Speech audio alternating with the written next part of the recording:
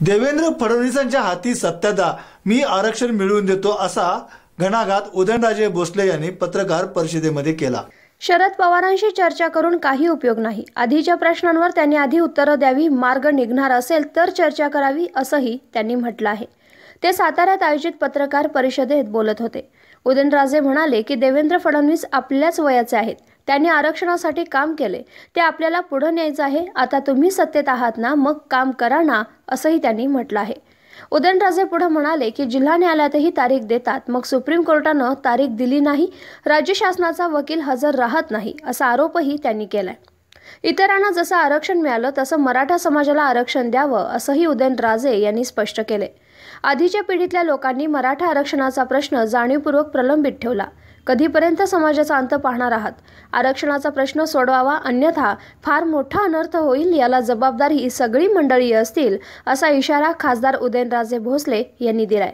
कुणाचं नाव घेऊन मी कुणाला मोठं करणार नाही कारण याला सगळेच जबाबदार आहेत. लोक यांना रस्त्यावर येऊ देणार नाहीत. घरात जाऊन जाब विचारतील असंही उदयनराजे यांनी म्हटलं.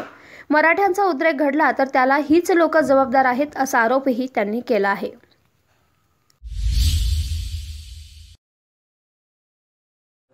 दिवसापासून म्हणजे वर्षांपासून. म्हणजे आता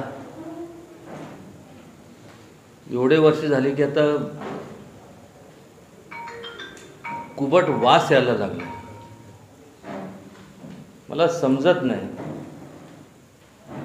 की शिवाजी महाराजांचं नाव घ्यायचं सर्व धर्म समभावाची चा विचार सांगायचा. आणि एखाद्या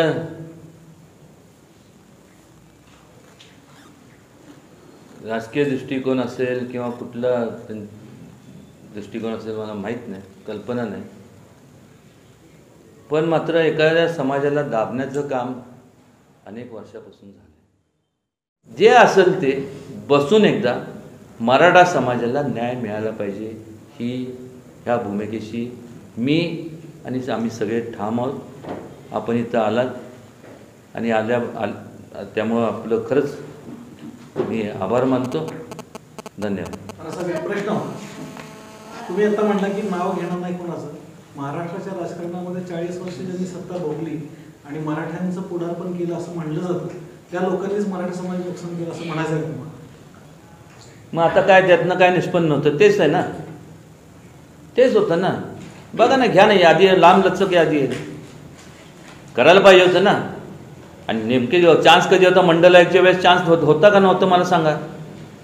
सगळ्यांना दे यांनी तुम्ही यादीच नाही पाठवली तर कसं? त्यावेळेस समाज झाला असता असा प्रश्न आधी प- पत्रकार परिषद घ्या घ्यायची वेळ आली नसती ना. दुसरी गोष्ट की मराठी समाजाच्या प्रश्नावरती चर्चा खूप होत आहे.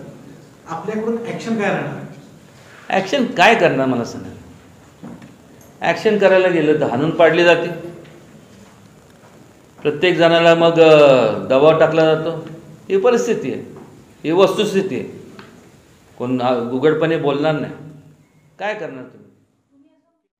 माझं कळकळीची विनंती लोकसभा राज्यसभा विधानसभा विधान परिषद.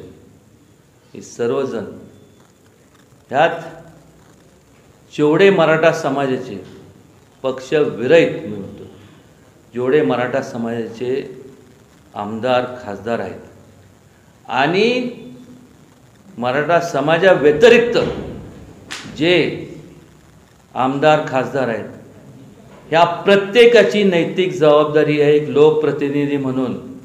कारण मराठा समाज जे आमदार खासदार एवढ्यांचीच जबाबदारी नाही आहे हा प्रश्न सोडवण्याकरता किंवा मार्गी लावण्या ला- लावण्याकरता. पण बाकीचे जे समाजातले जे लोक आहेत त्यांची पण जबाबदारी ह्याच्याकरता आहे कारण की त्यांच्या पण मतदारसंघामध्ये मराठा समाजाचे लोक आहेत.